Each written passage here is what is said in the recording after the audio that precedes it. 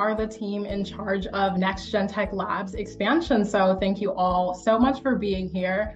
Next Gen Tech is excitedly um, expanding. Um, we've had so much growth over the past decade um, in the East Coast, but we are, you know, we've decided that as the technology space is evolving, um, now is the time that we kind of want to shake up um, our strategy. And so we're planning on moving our headquarters and building our warehouse, um, as well as our data center for our technologies.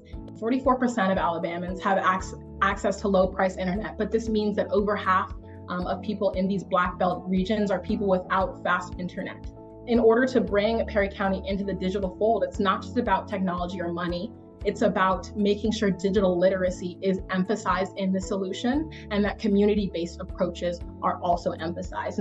To cater to the needs and circumstances of the two demographics that we're trying to reach out to, working class and high school students, the time horizons will look a little bit different but just note that the program is the same and will achieve the same result at the end of each timeline. Some of the faces of Perry County include people like Charlene Johnson and Damian Hendricks. In order to incorporate human centered design and thinking into the core of our solution, it was important that we focus on these unique people and their stories.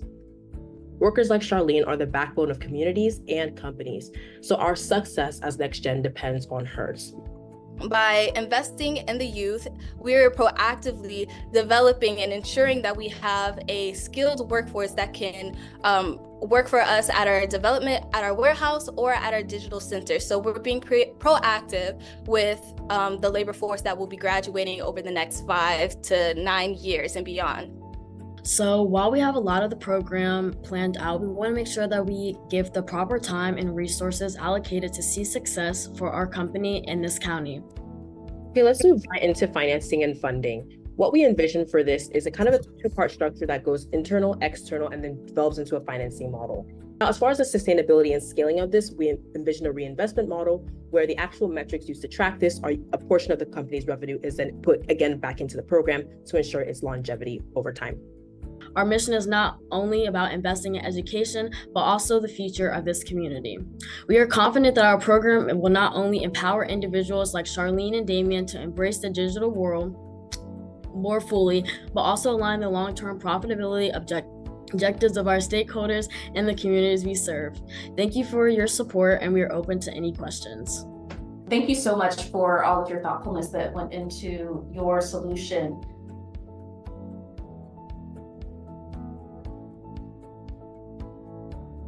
So just to give a quick addenda of our presentation, we'll first introduce the problem to you.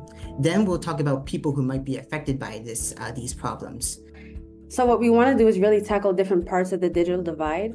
Firstly, we want to tackle access to the full range of computer skills. And secondly, we want to tackle access to stable and reliable internet connection. Now let's really dive into the back end that's driving this offline module. So here we have some technical concepts. This would mean an incredible return on investment because technologically skilled and educated workers typically produce over $70,000 worth of labor per year, which mean which would mean over 350 million in returns for QuickData, as well as a huge amount of resources, success, and generational wealth being able to be built for these rural community members. And now so we want to take all of this back to the beginning, which is human-centered design. That's really the whole point of this presentation. And so we want to take into consideration the different user personas that we previously talked about and how that informed our prototype. So here's an example of what the scholarship might look like or the cost breakdown of it. It could fund uh, $1.5 million to fund 25 students in an Alabama college. Uh, we would also have different sample selection criteria and benefits for people in the scholar who has received the scholarship. I'm very pleased with your presentation. You really did a comprehensive look, and I love the mapping of the personas to your technology.